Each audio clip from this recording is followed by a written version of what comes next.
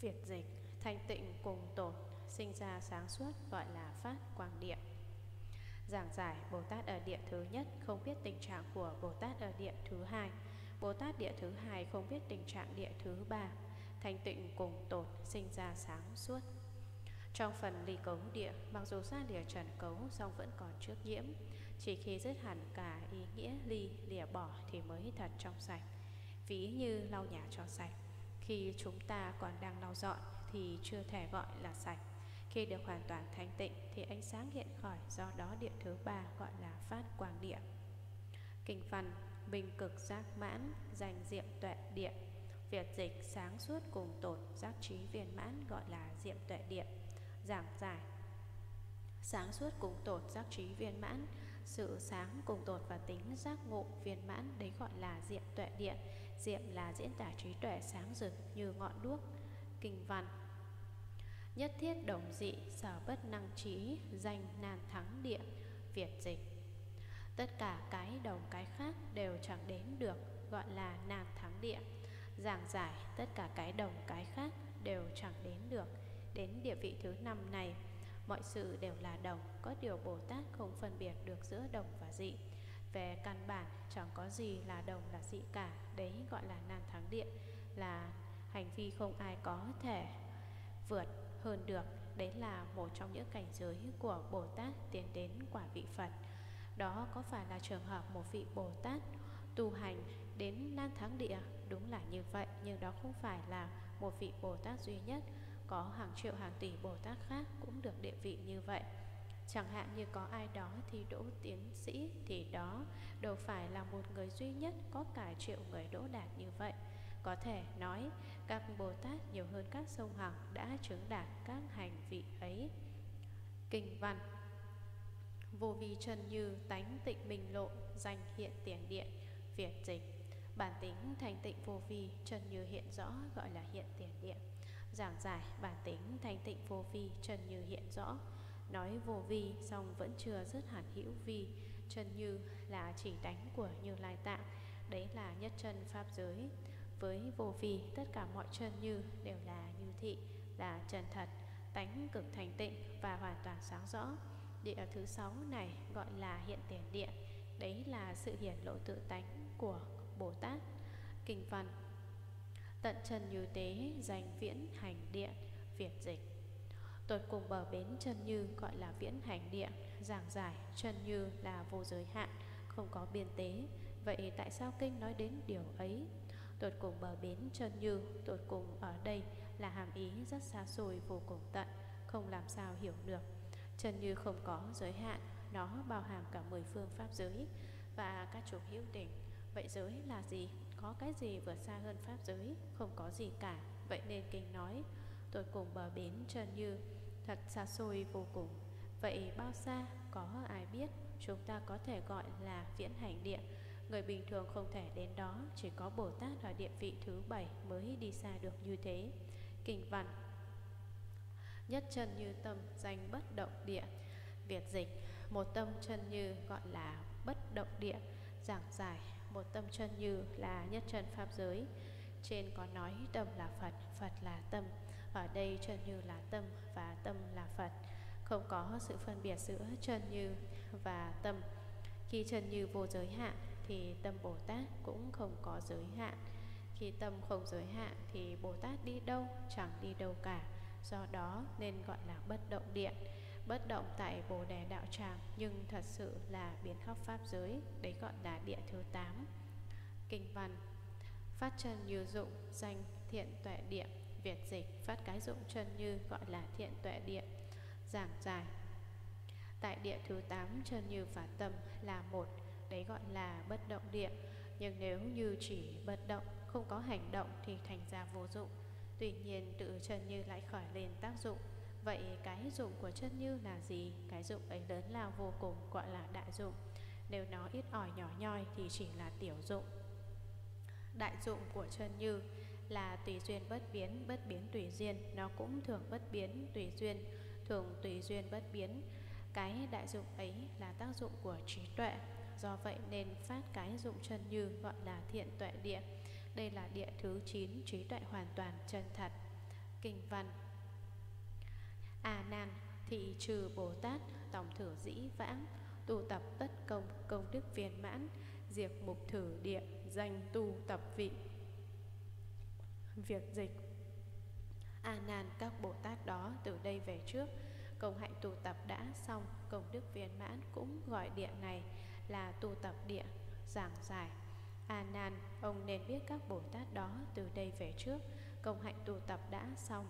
Từ khởi đầu càn tuệ địa cũng gọi là sơ tâm kim cang, đến địa thứ 9 tổng cộng 44 hạnh vị. Bồ Tát đến giai đoạn này thì việc tu tập đã xong công đức viên mãn, như vậy họ sắp thành Phật nên cũng gọi địa này là tu tập địa. Kinh văn Từ uẩn diệu vân, phúc niết bàn hải, danh pháp vần điện, Việt dịch Bóng từ mây diệu trùm bè niết bàn gọi là pháp vần điện Giảng giải, diệu và từ đều là pháp, bóng và mây che phủ tượng trưng tầm ảnh hưởng của pháp lan khắp. Bóng từ mây diệu trùm bè niết bàn, che phủ tất cả chúng sinh. Mọi năng lực của các Phật và Bồ Tát đều xuất phát từ biển niết bàn. Đây cũng gọi là địa thứ 10, gọi là pháp phần địa. Đẳng giác và diệu giác, kinh văn. Như Lai nghịch lưu như thị Bồ Tát thuận hành nhi trí giác tế nhập giao danh vi đẳng giác Việt dịch như Lai ngược dòng trở lại Vị Bồ Tát đó thuận dòng đi tới Giác ngộ chỗ giao tiếp nhau gọi là đẳng giác Giảng giải Như Lai ngược dòng trở lại Có những có nghĩa Như Lai sắp thành Phật Nhưng vì thương xót chúng sinh Nên quay trở lại thế gian Từ địa vị Phật các ngài trở lại con đường Bồ Tát hành Bồ Tát đạo Đó là ngược dòng Và vị Bồ Tát đó thuận dòng đi tới Bồ Tát xuôi theo dòng, dòng là diễn tiến từ địa vị phàm phu đến vị A-la-hán đến Bồ Tát hướng đến quả vị Phật. Đến quả vị này thì các vị ấy thực sự giao tiếp với Phật, giác ngộ chỗ giao tiếp nhau. Giác ngộ của Phật và giác ngộ của Bồ Tát tiếp xúc nhau, đấy gọi là đẳng giác. Các Bồ Tát cùng bình đẳng với Phật, nhưng các vị ấy cũng chưa đạt diệu giác. Giác ngộ của họ cũng như Phật, nhưng ở địa vị này vẫn còn chút vô minh Họ phải diệt dứt mới thành Phật Khi có người tự xưng là Phật Tôi hỏi Ông từ đâu đến Ông đi theo đường nào Nếu họ không biết danh xưng hành vị thứ nhất Họ sẽ không thấy được con đường đưa tới hành vị thứ hai Hành vị thứ ba Vậy làm sao đến được địa vị Phật Nhưng họ có khả năng trình độ đấy chứ Cho dù họ có tiến nhanh hơn tên lửa Tôi vẫn chắc là họ không đến được vị Phật Tại sao? Vì họ không phải là Phật Nhưng họ xưng lại xưng là Phật. Vậy lời nói đó thật hay dối, họ không tu không hành theo Phật đạo, sao lại nói mình là Phật? Thế sao có người tu hàng mấy mươi năm vẫn không thành Phật? Có thể những người xưng là Phật, họ cũng có được phải khả năng hữu hiệu, có tính khoa học. Kinh văn A Nan tùng càn tuệ tâm trí đẳng giác dĩ thị giác thủy hoạch kim cang tâm trung sơ càn tuệ điện Việt dịch A Nan từ tâm càn tuệ đến đẳng giác rồi, giác đó mới bắt đầu được sơ càn tuệ địa trong tâm kim cang giảng giải. A Nan từ tâm càn tuệ, tức càn tuệ địa hoặc còn gọi là kim cang sơ tâm đến đẳng giác rồi, giác đó mới bắt đầu được sơ cản tuệ địa trong tâm kim cang. Ở cản tuệ địa trước đó, dục ái đã cạn kiệt, song vẫn chưa tương tiếp với pháp thủy của Như Lai. Đến giai đoạn này, cản tuệ địa hoặc còn gọi hậu tâm kim cang đã phá xong vô minh tức sinh tướng vô minh đã dừng nhưng vẫn chưa hòa nhập với hải thủy vi diệu của như lai nên gọi là sơ cản tuệ địa đây là bước cuối cùng tu tập của bồ tát kinh văn như thị trùng trùng đan phúc thập nhị phương tận diệu giác thành vô thượng đạo việt dịch như vậy lớp lớp tu đơn tu kép 12 vị mới cùng tổ diệu giác thành đạo vô thượng giảng giải như vậy lớp lớp tu đơn tu kép 12 vị, bảy loại tu đơn, một sơ cản tuệ, hai noãn, ba đỉnh, bốn nhẫn, năm thế đệ nhất, sáu đẳng giác, bảy diệu giác. Có 5 nhóm tu kép, 1 thập tín, 2 thập trụ, 3 thập hạnh, 4 thập hồi hướng, 5 thập điện. Cả hai nhóm hợp thành 12 bậc. Có 54 bậc từ càn tuệ đến đẳng giác hoặc có người tính sơ cản tuệ của hậu tâm kim cang thành ra 55 vị nhưng thực ra cản tuệ địa cũng đồng với đẳng giác vậy. Cùng tột diệu giác thành đạo vô thượng, các Bồ Tát đã đặt đến cứu cánh diệu giác thành tựu Phật đạo vô thượng. Kinh văn Thị trùng trùng địa giai dĩ kim cang Quan sát như huyễn, thập trùng thâm dụ. Sa ma tha trung dụng trừ như lai. Tỳ bà xá na, thành tịnh tu chứng, tiệm thứ thâm nhập. Việt dịch, các thứ địa ấy đều lấy trí kim cang quan sát 10 loại ví dụ như huyễn sâu xa trong Samatha dùng các pháp tỳ bà xá na của các đức như lai mà thanh tịnh tu chứng lần lượt đi sâu vào. Giảng giải, các thứ địa ấy đều lấy trí kim cang quan sát 10 loại ví dụ như huyễn sâu xa đây là các hành vị đã diễn giải qua, từ cản tuệ địa của sơ tâm kim cang đến thập tín thập trụ, thập hạnh, thập hồi hướng, thập địa và bốn loại gia hạnh. Các vị ấy dùng tâm kim cang quan sát quan sát mọi thứ đều như huyễn. Huyễn là thật nhưng không đúng với sự thật, như đoạn diễn giải sau. Tụ tập muôn hạnh như hoa đốm giữa hư không, ngồi tại đạo tràng như trăng trong bóng nước hàng phục ma quân như ảnh hiện trong gương hành đại phật sự khác nào cơn mộng mị. Dùng trí quan sát 10 loại ví dụ sâu xa gồm một quán nhất thiết nghiệp như viễn, hai quán nhất thiết pháp như diễm ngọn lửa ba quán nhất thiết thân như thủy trung nguyệt trăng trong đáy nước bốn quán diệu sắc như không trung hoa hoa đốm giữa hư không năm quán diệu âm như không cốc thanh tiếng vang trong hang động sáu quán chư phật quốc độ như càn thát bà thành tòa thành ảo hóa bảy quán phật sự như mộng, tám quán phật thân như ảnh, chín quán báo thân như kính trung tượng, ảnh trong gương 10. quán pháp thân như huyễn hóa. Quan sát tất cả những điều đó là giả tạo, Là không hiện thực. Có được vậy thì chúng ta mới được tự chủ.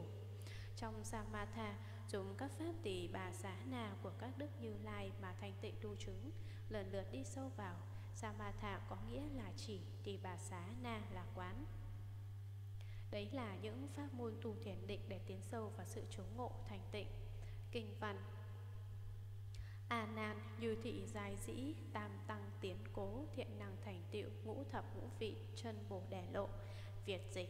A nan như vậy đều dùng ba tiệm thứ tăng tiến nên khéo thành tựu 55 vị trong đường bồ đề chân thật. Giảng giải. Ba loại tiệm thứ cũng đã giảng giải qua, đó là một trừ trợ nhân, hai khô chính tính ba vi hiện nghiệp 55 vị trong đường bồ đề một thập tín hai thập trụ, ba thập hạnh, bốn thập hồi hướng, năm tướng gia hạnh, sáu thập địa, bảy đẳng giác. Kinh văn Tác thị quán giả, danh vi tránh quán, nhược tha quán giả, danh vi tà quán.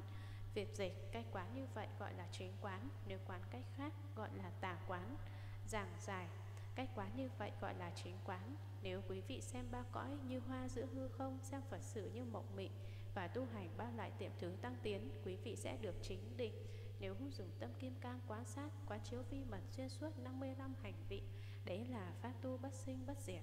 Nếu quán cách khác gọi là tà quán.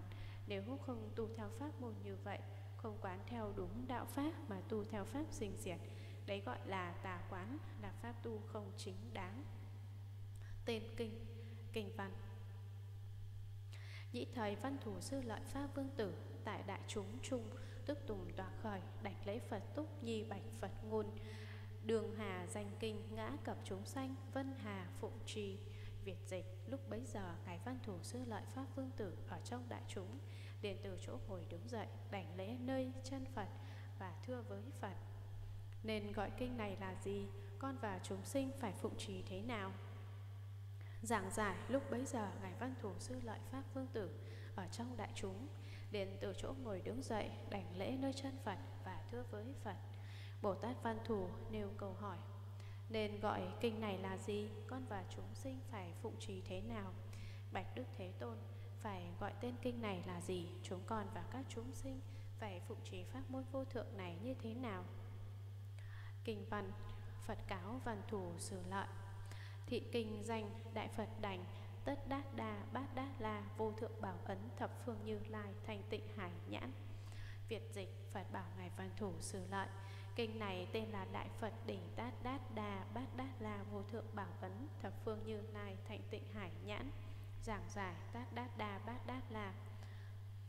Phật bảo ngài văn thủ sử lợi. Kinh này tên là đại phật đỉnh tát đát đa bát đát la vô thượng bảo ấn Đấy là vô kiến đỉnh từ nhục kế phóng ra hào quang báu. Tát đát đa bát đát là là đại bạch tán cái Không không có gì cao cả và đáng tôn quý hơn vô thượng bảo ấn. Bảo ấn có nghĩa là vua Pháp, là Đức Phật. Danh xương đầu tiên nói đến là chú Lăng Nghiêm cao cả Và bản kinh cũng còn gọi là thập phương như lai thanh tịnh hải nhãn.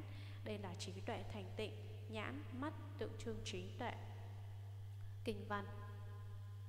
Diệt danh cứu hộ thân nhân độ thoát a nan cập thử hội chung tánh tỷ kheo ni, đắc bồ đề tâm nhập biến trì hải. Việt dịch cũng gọi tên là cứu hộ thân nhân độ thoát a nan cập thử hội chung tính tỷ kheo ni, đắc bồ đề tâm nhập biến trì hải. Giảng giải cũng gọi tên là cứu hộ thân nhân độ thoát a nan đức phật và ngài a nan có quan hệ anh em chú bác. Phật đã cứu a nan khỏi tay của ma đăng giả nữ ngài còn cứu độ cả tính tỳ kheo ni. Tại hội chúng, tính tỳ kheo ni tức ma đăng giả nữ. Tại hội chúng, nàng ấy đã đạt ngay quả vị a la hán đắc bồ đề tâm nhập biến trì hảo. Cả hai cùng chứng ngộ bồ đề, chính chi có nghĩa tâm sinh ra vạn pháp, biến chi là vạn pháp duy tâm. Thường gọi chúng là chính biến chi, đây là một danh hiệu phật. Kinh văn. Diệt danh như lai mật nhân tu chứng liễu nghĩa việt dịch cũng gọi tên là như lai mật nhân tu chứng liễu nghĩa. Giảng giải cũng gọi tên là như lai mật nhân. Đây là tên gọi khác chỉ tất cả pháp môn bí mật của Như Lai xuất phát từ sự tu chứng liễu nghĩa của Phật, tu hành và chứng quả vị triệt đẻ Đấy là tên gọi khác của bản kinh này. Kinh văn.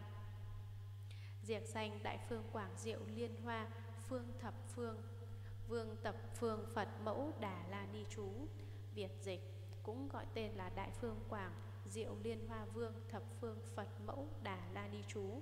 Giảng giải cũng gọi tên là Đại Phương Quảng. Đây là Pháp, là đại pháp nó biến khắp mười phương đến vô cùng tận. Diệu liên hoa vương như là kinh lăng nghiêm, thập phương phật mẫu đà la ni chú, tức là chú lăng nghiêm, đà la ni, là từ sanskrit có nghĩa tổng trì, tổng nhiếp và chấp trì vô lượng phật pháp còn có nghĩa khác là giữ gìn ba nghiệp thân khẩu ý được thanh tịnh giữ thân không được sát sinh trộm cắp tà dâm Tâm không tham sân si, miệng không nói dối, nói lời thêu dệt, nói hai lưỡi hoặc mắng chửi, xa lánh mười loài quỷ dữ. Kinh văn Diệt danh quán đảnh trương cú trừ Bồ Tát Vạn Hạnh Thủ Lăng Nghiêm Việt dịch cũng gọi tên là quán đỉnh trương cú trừ Bồ Tát Vạn Hạnh Thủ Lăng Nghiêm Giảng giải Thủ Lăng Nghiêm, thủ là trước tiên, thứ nhất và là pháp kiên cố. Quán đỉnh trương cố tức là chú Lăng Nghiêm. Nếu quý vị tụng đọc, mọi nghiệp chướng của quý vị sẽ mau chóng diệt, dứt và đạt được trí tuệ. Ngài Anna từng lên tiếng khen ngợi chú Đà La Ni vi diệu sâu xa. Thủ lăng nghiêm vương hiếm thấy trong đời, mọi tưởng đảo điên, kết tập từ bao kiếp, đã tức thì tan biến, liền chứng ngộ pháp thân không phải trải qua a tăng kỳ vô hạn tụng chú lăng nghiêm, quý vị sẽ được các phật bồ tát gần đến làm pháp quán đỉnh. Khai đại trí tuệ không cần thiết phải trải qua ba đại a tăng kỳ kiếp mới chứng ngộ pháp thân. Chư bồ tát vạn hạnh như đã trình bày trong nội dung kinh. Kinh văn, nhữ đường phụng trì việt dịch, các ông nên phụng trì. Giảng giải, a nan, ông phải nương theo pháp này mà tu tập, các ông nên phụng trì. Kinh văn Thuyết thị ngữ dĩ Đức thời A Nan cập trừ đại chúng Đắc mông như lai khai thị, Mật ấn, bát đát la nghĩa, Kim văn thử kinh, liễu nghĩa danh mục, Việt dịch. Phật nói lời ấy xong liền khi đó, Ngài A Nan và cả đại chúng Được nhờ Đức Như Lai khai thị ý nghĩa mật ấn, bát đát la, Lại được nghe những tên gọi liễu nghĩa của kinh này. Giảng giải, Phật nói lời ấy xong. Sau khi Phật giảng giải xong tiên kinh Liền khi đó Ngài A Nan và cả đại chúng Được nhờ Đức Như Lai khai thị ý nghĩa mật ấn mọi người cùng được nghe Đức Như Lai giảng giải về mật ấn Bát Đát La. Bát Đát La là đại bạch tán cái, đấy là ý nghĩa vi diệu triệt đẻ lại được nghe những tên gọi liễu nghĩa của kinh này. Đấy là những danh mục có ý nghĩa đầy đủ, trọn vẹn và tối thắng. Kinh văn Đốn ngộ thiền na, tu tiến thánh vị, tăng thượng diệu lý, tâm lự hư ngưng, Việt dịch, liền ngộ được diệu lý tăng thượng, để tu tiến vào các thánh vị trong thiền na tâm niệm rỗng không đứng lặng giảng giải liền ngộ được diệu lý tăng thượng để tu tiến vào các thánh vị trong thiền na thiền na có nghĩa tĩnh lự liền ngộ tức thì chứng ngộ ngộ rất nhanh chóng thánh vị, địa vị thủ thắng, quả vị Phật. Tại hội chúng mọi người đều được khai sáng trí tuệ, tâm niệm rỗng không đứng lặng, chẳng còn vọng tưởng gì trong tâm và cùng đạt được như lai tạng tính, tức cảnh giới bất khả tư nghị. Kinh văn, đoạn trừ tam giới, tu tầm lục phẩm, vi tế phiền não, việt dịch. Ông đoạn trừ sáu phẩm vi tế phiền não trong tư hoặc tam giới, giảng giải. Đến khi ấy, A Nan đã chứng được quả vị thứ hai của A La Hán. Ông đã trừ sáu phẩm vi tế phiền não trong tư hoặc tam giới. A Nan đã dứt trừ mọi vọng tưởng. Đến đây thì ông đoạn trừ sáu loại tư hoặc đầu trong tam giới. Có tất cả 81 loại tư hoặc gồm 9 địa, dục giới, tứ thiền, tứ vô sắc trong tam giới. Ở mỗi địa lại có 9 phẩm. phi tế có nghĩa nhỏ nhiệm ẩn khuất trong tự tính, rất khó nhận biết nhưng ngài A Nan cũng đã đoạn dứt thất phận. Kinh văn Tức tùng tỏa khởi, đảnh lễ Phật túc, hợp trưởng cung kính, nhi bạch Phật ngôn. Đại oai đức thế tôn từ âm vô giả thiện khai chúng sanh, vi tế trầm hoặc, linh ngã kim nhật. Thần ý khoái nhiên, đắc đại nhiều ích, Việt dịch, ông liền từ chỗ ngồi đứng dậy, đảnh lễ nơi chân Phật, chắp tay cùng kính mà thưa với Phật rằng Bạch Thế Tôn có uy đức lớn phát ra từ âm không ngăn ngại, khéo khai ngộ những sai lầm sâu kín nhỏ nhiệm của chúng sinh, khiến chúng con ngày nay thân tâm khoan khoái được lợi ích lớn. Giảng giải Đoàn A Nan liền từ chỗ ngồi đứng dậy vì ông nghe Phật giảng giải và đã đoạn dứt mọi vọng tưởng nhỏ nhiệm nên đảnh lễ nơi chân Phật, chắp tay cung kính mà thưa với Phật rằng, Bạch Thế Tôn có uy đức lớn phát ra từ âm không ngăn ngại. Đại uy, khuất phục các chúng sinh, có rất nhiều chúng sinh rất ngang bướng ương ngạnh, họ không tin những gì quý vị nói với họ. Họ không tin nhân quả, không tin luân hồi hay chuyện tái sinh. Do đó đức phật đã khéo léo vận dụng uy đức uy là để khuất phục trấn ác và đức là để hội tập đoạn này nói về hai phương diện khuất phục và hội tập hội tập các chúng có lòng tin và sẵn lòng tiếp thu giáo lý còn cái đức cũng giống như nam châm hút sắt tượng trưng các chúng hội tụ tại một nơi. Tiếng nói của Phật là từ âm, có công năng vô hạn, không gì có thể ngăn trở chướng ngại. Phật khéo khai ngộ những sai lầm sâu kín nhỏ nhiệm của chúng sinh. Có những vọng tưởng nhỏ nhiệm rất khó nhận biết và Đức Phật đã chỉ rõ ra điều ấy khiến chúng con ngày nay thân tâm khoan khoái, mọi người cảm thấy rất vui, rất đỗi hoan hỉ, được lợi ích lớn. Kinh văn. Thế tôn nhược thử diệu minh chân tịnh diệu tâm bản lai biến viên như thị nãi trí đại địa thảo mộc huyễn động hạ linh bổn nguyên chân như tức thị như lai thành phật chân thể. Việt dịch. Bạch thế tôn nếu cái chân tâm diệu minh trong sạch nhiệm màu, bản lai cùng khắp như vậy, cho đến bản tính chân như của đất đai cây cỏ, các loài máy động, tức là chân thể, thành phật của như lai. Giảng giải. Bạch thế tôn, nếu cái chân tâm diệu minh trong sạch nhiệm màu biến khắp pháp giới không đâu là không có, bản lai cùng khắp như vậy, cho đến bản tính chân như của đất đai cây cỏ, các loài máy động. Đất đai cây cỏ được xem là các chúng vô tình, các loài máy động là những sinh vật nhỏ thuộc giới hữu tình. Các loài này có ít nhận thức, chúng có thể hoạt động nhưng không xa và nhận thức thì hoàn toàn hạn hẹp. Tất cả đều là chân thể thành phật của như lai. Kinh văn. Phật thể, chân thật, vân hà, phục hữu, địa ngục ngạ quỷ, súc sanh tu la, nhân thiên đẳng đạo thế tôn, thử đạo phi phục, bản lai tự hữu, vi thị chúng sanh, vọng tập sanh khởi. Việt dịch thể tính phật đã là chân thật, làm sao lại có các đường địa ngục ngạ quỷ súc sinh tu la, loài người, trời, bạch thế tôn? Những đường đó lại là bản lai tự có hay là do tập khí hư vọng của chúng sinh khởi ra? Giảng giải, thể tính phật đã là chân thật, làm sao lại có các đường địa ngục ngạ quỷ súc sinh tu la, loài người, trời? Phải giải thích thế nào về các đường hiện hữu ấy? Bạch thế tôn, những đường đó lại là bản lai tự có hay là do tập khí hư vọng của chúng sinh khỏi ra? Có sáu nẻo luân hồi, luôn hiện hữu hoặc là do chúng sinh tạo ra, chúng con thật không biết được. Kinh văn. Thế tôn như bảo liên hương tỷ kheo ni trì Bồ Tát giới tư hành dâm dục, Vọng ngôn hành dâm, phi sát, phi thâu, Vô hữu nghiệp, báo, phát thị ngữ dĩ, Tiên ư nữ, căn, Sanh đại mãnh hỏa, Hậu ư tiết tiết mãnh hỏa, Thiêu nhiên đoạn vô gián ngục. Việt dịch bạch thế tôn như bảo liên hương tỷ kheo ni Giữ giới Bồ Tát lén lút làm việc dâm dục lại nói càn rằng việc hành dâm không phải giết người, không phải trộm cắp, không có nghiệp báo. Phát ra lời ấy xong, trước hết nơi nữ căn sinh ra ngọn lửa lớn, sau đó từng đốt từng đốt, bị lửa giữ đốt cháy ra vào ngục vô gián. Giảng giải tại sao con nói là không biết về sáu con đường lục đạo và An Nan tiếp tục Bạch Thế Tôn, như bảo Liên Hương tỷ kheo ni, giữ giới Bồ Tát lén lút làm việc dâm dục, lại nói càn rằng việc hành dâm không phải giết người, không phải trộm cắp. Tỷ kheo ni này đã thọ Bồ Tát giới nhưng bà ta không giữ giới.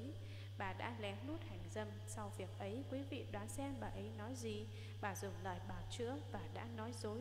Bà cho rằng việc dâm ấy không phải là giết người hay trộm cắp. Đấy là việc vui thú giữa hai người nam nữ. Điều đó có gì là tội? Mặc dù Đức Phật khuyên chúng ta nên giảm lòng kiềm chế, Nhưng tôi nghĩ không cần thiết phải nén lòng như vậy. Nó không thành vấn đề. Đó không phải là trọng tội. Sao lại coi việc nam nữ giao hoan lại là sai lầm? Đấy là lý lẽ bà dùng để biện giải, Mạnh mẽ và dứt khoát như thế. Bà nói việc dâm ấy không có nghiệp báo. Việc dâm ấy có nhiều người thích, Hơn nữa chẳng có vấn đề gì. Bà ta thực sự tán thành sự ham muốn dầm dục Bà ta là một tỷ kheo ni, Nhưng lại là một người khích dục. Phát ra lời ấy xong, Trước hết người nữ căn sinh ra ngọn lửa lớn, Sau đó từng đốt từng đốt bị lửa giữ đốt cháy. Chẳng có vấn đề gì sao, Nữ căn của bà ta bốc cháy, Quả thật là kinh khủng. Tôi tin là bà ấy bị thiêu đốt, Tất sẽ kêu thét dữ dội. Bà sẽ không còn biện bác là hành động của mình không phạm giới. Lửa bốc cháy từ âm căn sẽ cháy lan tỏa khắp cả châu thân. Đấy là vì khi nam nữ hành dâm, Cảm giác khoái lạc giữa cả hai sẽ lan khắp người. Cả hai hành lạc như vậy, Họ không ý thức rằng Sự phóng túng ấy sẽ nhanh chóng đưa họ đến chỗ chết Và nó đã thực sự xảy đến. Khi lao vào tình trạng ấy, Cả hai đã tự đánh mất đi chính mình. Lúc ấy hầu như họ muốn chết, Cả người nam và người nữ. Chết cách nhanh chóng cũng hay, Họ cảm thấy như vậy, nhưng họ lại xa vào địa ngục, nhanh chóng biến vào địa ngục. Vị tỷ kheo ni kia bốc cháy vì tham dục cũng là một loại lửa, đó là lửa dục. Một loại lửa không có dụng cụ hoặc loại nước nào có thể dập tắt. Tại sao? Vì lửa ấy bắt nguồn từ sự tham dục sâu nặng, tự chính thân tâm của bà ta. Và điều gì sẽ xảy đến với người ấy? Chẳng có con đường nào khác, bà ta phải xa vào địa ngục vô gián trong ngục vô gián không có thời gian giường nghỉ và không gian thì luôn kín kẽ đầy ắp người ở nơi này. Mặt khác chẳng ai biết mình sẽ chịu đựng hành hình đau khổ đến khi nào mới dứt. Sự đau đớn khổ sở ở đây là bất tận, sống và chết liên tục nối tiếp nhau. Khi bà Ni kia vào địa ngục, quý vị đoán xem bà phải chịu đựng gì? Có loài chi mỏ sắt, loài trùng mồm miệng rắn như sắt thép đua nhau sâu xé rút rỉa tay chân xương thịt bà đặc biệt là những cơ quan nữ tính. Từng giờ từng phút chúng tấn công cắn xé tội nhân cho đến chết. Khi ấy, ngọn gió lành thổi đến. Đấy là cơn gió đặc biệt của địa ngục, nó là người chết sống lại. Chỉ trong vòng một đêm một ngày, bà phải trải qua 10.000 lần sống chết như vậy. Cứ chết đi rồi sống lại, rồi lại chết đi. Lại nữa, địa ngục này còn có những hình cụ đặc biệt dành cho những kẻ ham mê nhục dục, đấy là cột đồng những cây cột nóng đỏ vì lửa nung trong trụ cột. Một khi người hiếu dâm đối diện những cột đồng ấy họ lại thấy đó là cô gái đẹp, còn nữ thì thấy đó là người đàn ông. Khi họ nhào đến ôm chầm lấy thì tức khắc sẽ bị cột nung cháy người. Tại sao lại như vậy? Đấy là vì nghiệp dâm của họ quá nặng, họ phải chịu bị trừng phạt như thế. Đó cũng là sự trừng phạt với Bảo Liên Hương Tỳ Kheo Ni. và phải trải nghiệm địa ngục ngay khi còn sống. Vậy liệu bà có còn viện dẫn việc hành dâm không phải là sát sinh trộm cướp nên không bị trừng phạt? Khi bà bắt đầu chịu đựng trừng phạt thì cũng đã quá muộn rồi. Bà không đủ thời gian để hối tiếc. Sự việc ấy xảy ra khi Phật còn tại thế, đó là một tỳ kheo ni không giữ giới.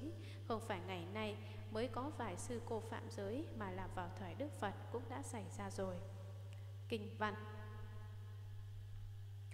Lưu ly đại vương thiện tinh tỷ kheo lưu ly vi chu cổ đàm tộc tính, thiện tinh vọng thuyết, nhất thiết pháp không, sanh thân hãm nhập, a tỷ địa ngục.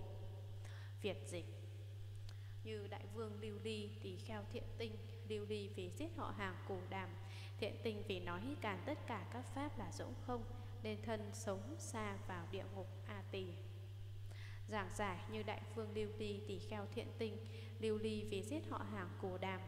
Vua Lưu Ly và Đức Phật có quan hệ thân tộc, nhưng thực sự không phải như vậy. Cha của vua Lưu Ly trước đó là vua xứ xá vệ, ông ta muốn kết hôn với tộc Cù Đàm. Người trong thị tộc Cù Đàm thấy mình cao quý hơn nên không muốn gả con. Nhưng thế lực xứ xá vệ rất mạnh, người họ thích bèn đánh cháo người hầu gái gả cho vua xá vệ. Sau đó sinh ra thái tử Lưu Ly. Lúc Lưu Ly còn trẻ, một lần ông về ngoại, thấy ngôi điện của Phật vừa xây xong, pháp tòa rất trang nghiêm cũng vừa hoàn thành. Ông ta bèn tự tiện ngồi vào, Người nhà họ cù đàm bèn mắng Ngươi là con của hạng nô tỳ Tại sao dám ngồi vào chỗ của Phật? Lưu Ly rất tức giận bảo tên hầu Sau khi ta làm vua hãy nhắc cho ta nhớ mối nhục này. Sau khi Lưu Ly làm vua Tên hầu nhắc lại chuyện cũ. Nên vua Lưu Ly dẫn quân về thảm sát cả tộc cù đàm. Đại đức Mục Kiền Liên biết việc ấy Bèn đến xin Phật cứu độ. Phật lặng thinh không tác Mục Kiền Liên bèn ôm bát vào thành. Dùng thần lực đưa 500 người thị tộc cù đàm vào bình bát và bay lên trời. Khi quân đội vua Lưu Ly rút khỏi thành, Đại Đức mang bình bát đến trước Phật định gọi mọi người bước ra, nhưng khi nhìn vào bình thì chỉ thấy bản là máu. Đức Phật bảo định nghiệp đã vậy, sức ông không cứu độ được đâu, chính ta cũng phải chịu đau đầu ba ngày rồi. Ngoài nguyên nhân dẫn đến việc thảm sát tộc Cù Đàm như vừa thuật, Đức Phật còn giải thích cho Đại Đức nghe về nhân duyên của sự việc. Trước đây rất lâu xa, trong thành La Phiệt có một cái đầm rất nhiều cá. Đa số cư dân nơi ấy sống bằng nghề đánh cá. Đến ngày nọ trời khô hạn, trong đầm chỉ còn lại có hai con cá chúa, một con là Phu, một con tên là Đa Thiệt. Cả hai con đều bị bắt lên bờ. Lúc ấy có một cậu bé cầm que gõ vào đầu cá ba cái. Về sau những ngư dân ấy đều là người họ thích ngày nay. Con cá phu khi xưa chính là vua Lưu Ly Cá đa thiệt là gã hầu tướng của vua Lưu Ly. Còn cậu bé chính là tiền thân của ta Tức là Đức Thích Ca. Nhân quả báo ứng rất hiển nhiên Không sao tránh khỏi được. Tỷ kheo thiện tinh luôn tuyên dương kiến thức và những quan điểm sai lạc của mình. Khi nói Pháp, ý kiến của ông hoàn toàn trái với lời Phật dạy Chẳng hạn, Phật cấm sát sinh thì ông ta nói, chẳng cần phải vậy. Tại sao tránh sát sinh chứ? Sự sống chết của chúng sinh liên tục nối tiếp nhau, Có vài loại đặc biệt Để cho con người ăn thịt, Nếu không ăn thì lấy gì để sống? Nguyên tỷ kheo thiện tình xuất gia theo Phật. Nhưng sau đó, ông ta đâm ra bất đồng với Phật. Tất cả lời Phật dạy, ông ta đều nghi ngờ và tìm cách lôi kéo nhiều thầy tu khác theo mình. Họ tin tưởng ông ta, Đúng, sát sinh thì có tội gì? Giống như trường hợp sư cô bảo Liên Hương, Chúng ta làm những việc cần làm, Đó đâu phải là trộm cắp. Nếu chúng ta có được những thứ gì đó Thì chúng ta đâu cần phải hành động. Nhưng nếu không làm những điều cần thiết Thì chúng ta có được gì trong đời? Đó là ông ta nói về trộm cắp. Ông ta chống lại năm giới căn bản của nhà Phật. Thiện tinh vì nói cả tất cả các pháp là rỗng không? Ông ta cả quyết, Tất cả mọi sự việc đều như vậy, Chẳng có gì là nghiệp. Ông nói nghiệp ư hãy mang ra cho tôi xem Nó đâu có hiện hữu Nên thân sống ra vào địa ngục. A tỷ Những người ấy không cần phải đến lúc chết mới vào địa ngục. Như vua Lưu Ly, tỷ kheo thiện tinh, tỷ kheo ni bảo liên hương Đã trải nghiệm địa ngục ngay khi đang sống. Và Ngài A Nan đã hỏi Phật về nhân duyên ấy. Kinh văn Thử trừ địa ngục, vì hữu định xứ, Vì phục tự nhiên bị bỉ phát nghiệp, Các các từ thụ, Duy thủy đại từ, phát khai đồng mông, Linh trừ nhất thiết, chỉ giới chúng sanh. Văn quyết định nghĩa, hoan hỷ, đảnh đái, Cẩn khiết, vô phạm. Việc dịch, các địa ngục ấy là có chỗ nhất định hay là tự nhiên? Khi những người kia gây nghiệp thì mỗi người mỗi chịu riêng. Xin Phật rủ lòng đại từ khai ngộ cho kẻ ngây thơ khiến cho tất cả chúng sinh chỉ giới nghe được nghĩa quyết định vui mừng tôn trọng kính cần giữ gìn không phạm. Giảng giải các địa ngục ấy là có chỗ nhất định hay là tự nhiên? Khi tỷ kheo ni bảo liên hương, tỷ kheo thiện tinh, vua lưu ly, cảm nhận thân sống ra vào địa ngục, ngài An nan bèn nhân đó hỏi phật có phải địa ngục xác định tại một chỗ? Khi những người kia gây nghiệp, thì mỗi người mỗi chịu riêng, từng người một trong số ba người kia, phải chịu trừng phạt theo nghiệp mình đã tạo. Ngoài ra còn có những điều khó hiểu khác. Chẳng hạn địa ngục đã sắp đặt trước cho họ, Hay do chính họ tạo ra. Địa ngục từ đâu đến, Sự liên hệ giữa tạo nghiệp và quả báo. Địa ngục như một nhà tù chung hay từng phần riêng biệt.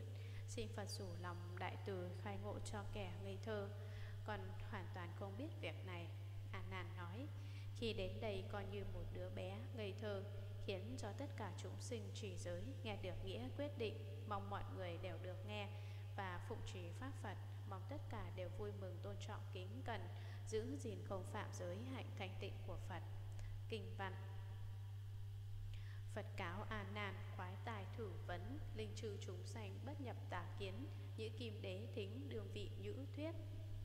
Việt dịch, Phật bảo ông A Nan hay thay lời hỏi đó khiến cho các chúng sinh không mắc vào tà kiến. Này ông hãy chú ý lắng nghe tôi sẽ vì ông mà nói. Giảng giải. Khi Đức Phật nghe ông A Nan hỏi giúp các chúng sinh cách giữ giới ngài rất hoan hỉ. Phật bảo ông A Nan hay thay lời hỏi đó khiến cho các chúng sinh không mắc vào tà kiến, tránh không phải xa vào tà kiến, giữ gìn lấy chính kiến. Này ông hãy chú ý lắng nghe, tôi sẽ vì ông mà nói. Kinh văn. À Nam nhất thiết chúng sanh thật bản chân tịnh, nhân bỉ vọng kiến, hiếu vọng tập sanh, nhân thử phần khai, nội phần, ngoại phần. Việt dịch, A Nan tất cả chúng sinh thực tính vốn chân tịnh, nhân những vọng kiến mà có tập khí hư vọng sinh ra. Vì thế nên phân chia ra có phận trong phận ngoài. Giảng giải a nan tất cả chúng sinh thực tính vốn chân tịnh nhưng chân thể lại khỏi vọng sinh ra vô minh. Từ vô minh sinh ra tà kiến nhân những vọng kiến mà có tập khí hư vọng sinh ra, các tập khí tồn tại trong và ngoài hiện thể, vì thế nên phân chia ra có phận trong phận ngoài. Kinh văn. A Nam nội phần tức thị chúng sanh phần nội, Nhân trừ ái nhiễm phát khởi vọng tình Tình tích bất hưu, Năng sanh ái thủy. Việt dịch. A Nan phận trong, Tức là ở trong phận của chúng sinh, Nhân các ái nhiễm mà sinh ra vọng tình Tình chứa mãi không thôi Có thể sinh ra ái thủy. Giảng giải. À, A Nan phận trong, tức là ở trong phận của chúng sinh. Thế nào là trong phận? Là trong thân. Nhân các ái nhiễm mà sinh ra vọng tình, Đấy là lòng ái dục và các pháp trước nhiễm, Từ đó sinh ra vọng tình Tình chứa mãi không thôi. Các tình tích tập ngày này qua ngày khác, Tháng này đến tháng khác, Dần nhiều đến độ không dừng được, Và những tình ái ấy luôn hiện hữu, Có thể sinh ra ái thủy. Kinh văn. Thị cố chúng sanh Tâm ức trần tu khẩu trung thủy xuất Tâm ức tiền nhân hoặc lân hoặc hận. Mục trung lệ doanh, Tham cầu tài bảo, Tâm phát ái tiên, cử thể quảng nhuận, Tâm trước hành dâm, nam nữ nhị căn, tự phát lưu dịch. Việt dịch, Vậy nên chúng sinh tâm nhớ thức ăn ngon, Thì trong miệng nước chảy ra, Tâm nhớ người trước đó hoặc thương hoặc giận, Thì trong mắt lại tràn Tham cầu của báu Thì trong tâm phát ra ái tiên, Cả mình đều trơn sáng. Tâm dính vào việc dâm dục Thì hai căn nam nữ tự nhiên dịch khí dỉ ra, Giảng giải. Vậy nên chúng sinh, Tâm nhớ thức ăn ngon thì trong miệng nước chảy ra. Tại sao tâm ái nhiễm của chúng sinh Nếu tình cảm phát triển không dừng Thì sinh ra ái thủy, Dịch ham muốn? Trong thực tế có thể biết được điều này Chẳng hạn một người thích ăn ngon Khi nghĩ về món ăn ưa thích Thì tự nhiên nước bọt chảy ra. Tâm nhớ người trước đó, Một người bạn, Hoặc có quan hệ thân thuộc, Hoặc thương hoặc giận thì trong mắt lệ tràn. Người đã chết đi khiến mình cảm thấy thương tiếc hoặc tức giận vì mất sớm, Mà nghĩ, Anh ấy là người tốt, tại sao lại chết sớm thế? Thương hoặc giận đều khiến người nhớ đến phải chảy nước mắt.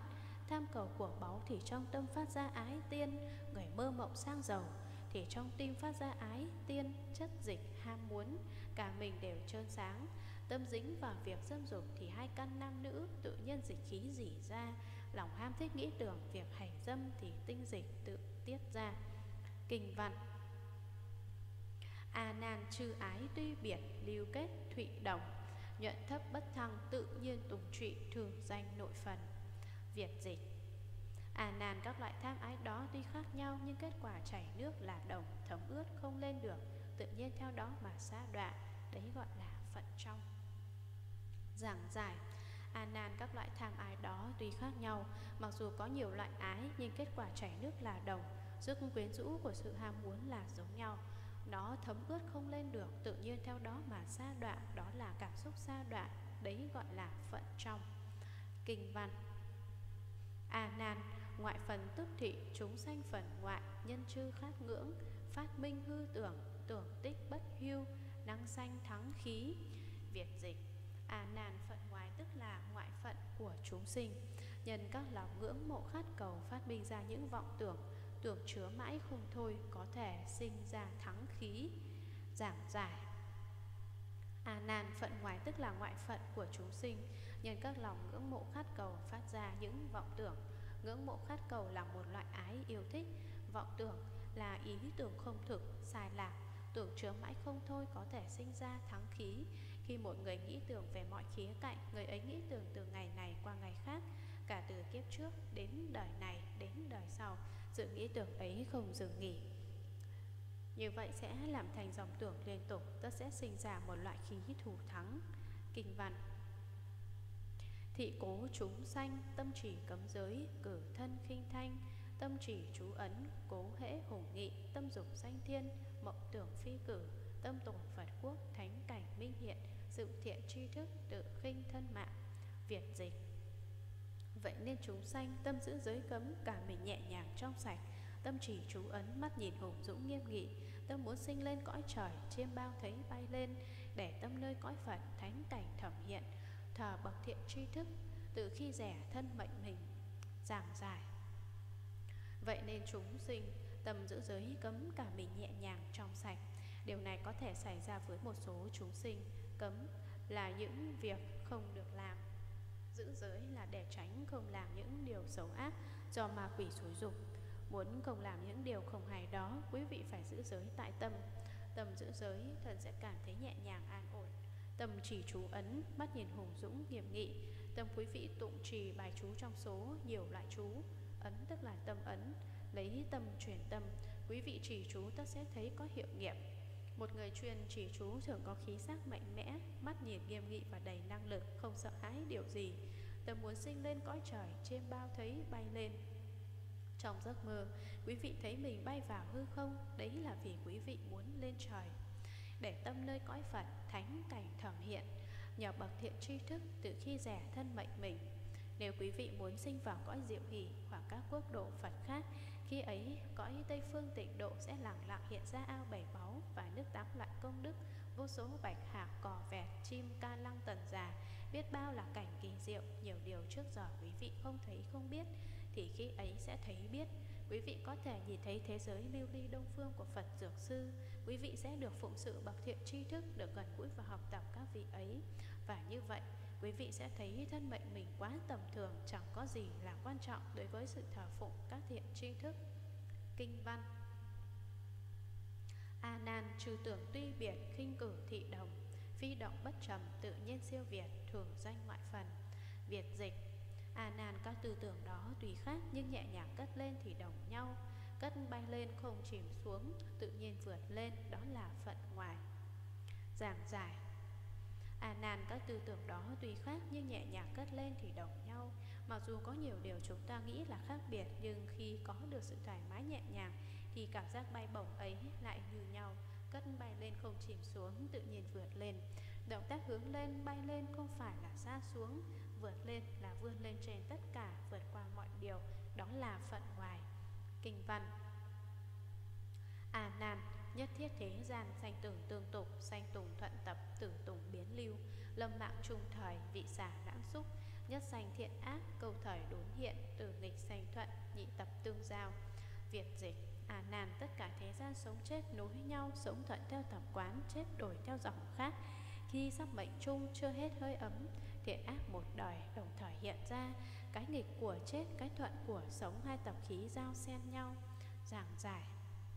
Đức phật lại bảo a nan, ông nên biết rằng tất cả thế gian sống chết nối nhau, sinh ra và chết đi, chết xong lại tái sinh, luôn nối tiếp nhau trong cái vòng luân lưu bất tận. Sống thuận theo tập quán, sống theo những điều mọi người mong muốn, chết đổi theo dòng khác khi chết con người sẽ theo nghiệp báo mà tiếp tục tái sinh tùy theo loại nghiệp đã tạo con người bị muốn vào bánh xe sinh tử. Khi sắc mệnh chung chưa hết hơi ấm, thiện ác một đời đồng thời hiện ra. Chưa hết hơi ấm có nghĩa sáu thức và thức thứ bảy đã lìa khỏi thân, nhưng thức thứ tám vẫn còn tồn tại. Trong kinh văn nói hơi ấm tức là chỉ thức thứ 8 còn hiện diện trong thân nên thấy ấm. Chẳng hạn như thức thứ 8 rời đi qua đôi chân, chân sẽ ấm, đi qua vùng bụng, bụng sẽ ấm, còn như thoát qua đỉnh đầu thì hơi ấm sẽ động lại cuối cùng nơi đó. Sau khi chết, thức thứ 8 của người đó gọi là thân trung ẩn hoặc thân trung ấm. Khi người còn sống, thức ấy gọi là thân uẩn hiện hành, thường được hiểu là hồn, là Phật tính theo nhà Phật. Khi một người sắp chết, mọi hành vi thiện ác trong đời đều hiện diễn. Tùy theo hành động tạo tác, người đó sẽ nhận lấy quả lành hoặc dữ. Nếu hành thiện, họ sẽ được lên các cõi trời, hành ác, tất sẽ xa vào địa ngục. Một người tích tập nhiều việc thiện, khi lâm trung hơi ấm sẽ thoát ra từ đỉnh đầu. Còn như gây nhiều tội ác, tạo lắng nghiệp chướng, hơi ấm sẽ thoát ra từ đôi chân. Nhìn chung, hơi ấm thoát ra từ phần trên thân người, có nghĩa người đó sẽ tái sinh nơi tốt đẹp hơn còn như thoát đi từ phần dưới thân tức là sự đi xuống, cái nghịch của chết, cái thuận của sống. Hai tập khí giao xen nhau, cái nghịch và cái thuận cùng đối nhau trước lúc tử và sinh. Kinh văn. Thuần tưởng tức phi, tất sanh thiền thượng, nhược phi tâm trung kiêm phước kiềm tuệ, cập giữ tịnh nguyện. Tự nhiên tâm khai, kiến thập phương phật, nhất thiết tịnh độ, tùy nguyện vãng sanh. Việt dịch. Thuần là tưởng thì liền bay lên, Chắc sinh lên cõi trời. Nếu trong tâm bay lên Gồm có phúc đức trí tuệ Cùng với tịnh nguyện Thì tự nhiên tâm được khai ngộ, Thấy tất cả tịnh độ mười phương chư Phật, Tùy nguyện mà vãng sinh. Giảng giải thuần là tưởng, Có nghĩa chỉ có tưởng mà không có tình. Tưởng là dương và tình là âm. Thuần tưởng là chuyên nhất quán tưởng, Chẳng suy niệm gì khác, Tư tưởng con người chi phối hầu hết các sự việc. Chẳng hạn, việc ăn uống hút thuốc đều xuất phát từ ý tưởng. Đầu tiên người ta nghĩ về điều ấy, Kế đến mới hành động. Trái lại nếu người đó quyết định không làm điều gì Thì họ sẽ không làm. Nếu muốn ăn ngon tôi đi mua thức ăn ngon để ăn. Nếu muốn mặc đẹp tôi mua quần áo đẹp. Nếu thấy khác người ta sẽ tìm lấy nước uống Hoặc bia rượu. Tâm trí con người thường luôn bận rộn về nhiều điều. Khi gặp một người thiện tri thức khuyên họ hãy thôi hút thuốc dừng việc ăn thịt uống rượu, họ đồng ý nghe theo lời khuyên, nhưng tâm ý của họ đã quen thiết với những điều đã qua. Họ bắt đầu mơ tưởng đến hút thuốc, ăn thịt, uống rượu. Họ thực sự không tự tỉnh, không tránh được những cảm dỗ quen thuộc, nên lôi cả vào trong mộng mị. Khi thức tỉnh, họ thấy tiếc vì những điều mơ thấy. Tôi đã dừng các việc ấy, tại sao vẫn còn mơ thấy? Họ tự của trách mình. Tôi đã nói qua rất khó kiểm soát lấy mình. Khi chúng ta đau yếu, và càng khó khăn hơn khi mộng mị. Chỉ thuần là tưởng thì liền bay lên, chắc sinh lên cõi trời. Nếu trong tâm bày lên gồm có phước đức trí tuệ cùng với tịnh nguyện thì tự nhiên tâm được khai ngộ. Tuy nhiên nếu người đó không có ý sinh lên các cõi trời mà trong tâm có cả phúc đức trí tuệ cùng với nguyện thành tịnh họ sẽ được sinh vào cõi Phật. Phật là đấng lưỡng toàn vì Ngài thành tựu trọn vẹn cả phúc và tuệ Biết được vậy, mọi người tất sẽ muốn tu cả phúc và trí.